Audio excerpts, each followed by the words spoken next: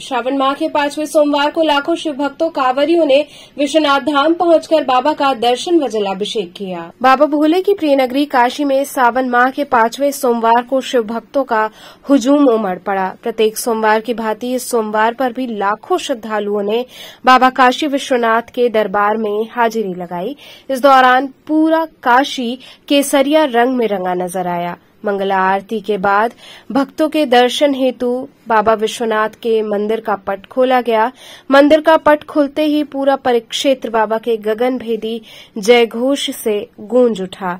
भक्त रात्रि से ही गंगाजल व माला फूल लिए अपनी बारी के इंतज़ार में खड़े रहे। वहीं भक्तों ने बाबा की झांकी का दर्शन किया और जीवन मंगल की कामना की। भक्त रात से ही लाइनों में लगे हुए थे। भक्तों द्वारा बताया गया कि बाबा का दर्शन सुगमता से हो रहा है। वीवीआईपी हो या आम, श्रद्धालु सबके लिए एक समान दर्शन मिल रहे हैं। पुलिस प्रशासन चप्पे चप्पे पर मुस्तैद है।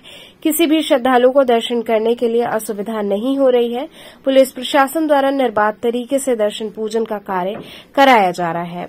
वहीं गंगा में लगातार जलस्तर बढ़ने की वजह से श्रद्धालुओं को गंगा स्नान करने के लिए बैरिकेटिंग के अंदर ही स्नान हेतु अनाउंसमेंट किया जा रहा है। व्यवस्था बहुत बढ़िया है। बहुत ही बढ़िया।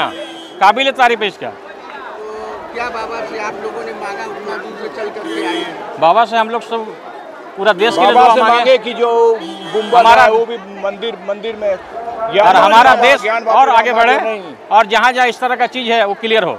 हम बस यही सोचेंगे कि हमें दोबारा फिर आने को मिले बस। कैसा लगा बहुत अच्छा लगा। लगा कि हाँ पहली बार आए मतलब बहुत अच्छा लगा मैंने ना दोबारा फिर आए बस। बस मांगे कि हमारा परिवार हमेशा खुश रहे।